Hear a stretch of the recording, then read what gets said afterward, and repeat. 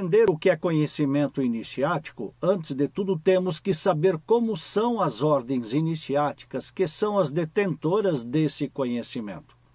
Uma primeira ideia sobre ordens iniciáticas é que elas são ou formam sociedades ou fraternidades, geralmente de natureza mística ou filosófica. Nessas ordens, são passados conhecimentos reservados aos seus membros, geralmente ligados à metafísica ou à alta espiritualidade universal. Os membros de uma ordem ou sociedade iniciática são chamados de iniciados ou adeptos que passaram por uma cerimônia ou ritual iniciatório. Cada ordem, escola ou sociedade possui seus próprios ritos e sua própria doutrina. Algumas delas são detentoras de conhecimentos muito antigos, chegando mesmo a remontar aos começos da civilização egípcia, grega ou hindu, dentre outras tantas. E para que servem esses conhecimentos?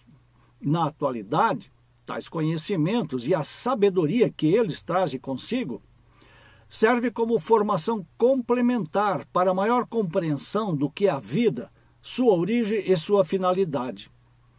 A iniciação não é algo obrigatório. Pelo contrário, o interessado deve buscar e se motivar a compreender e a praticar, vivenciando como uma nova e completa filosofia de vida que transcende a rotina diária da humanidade.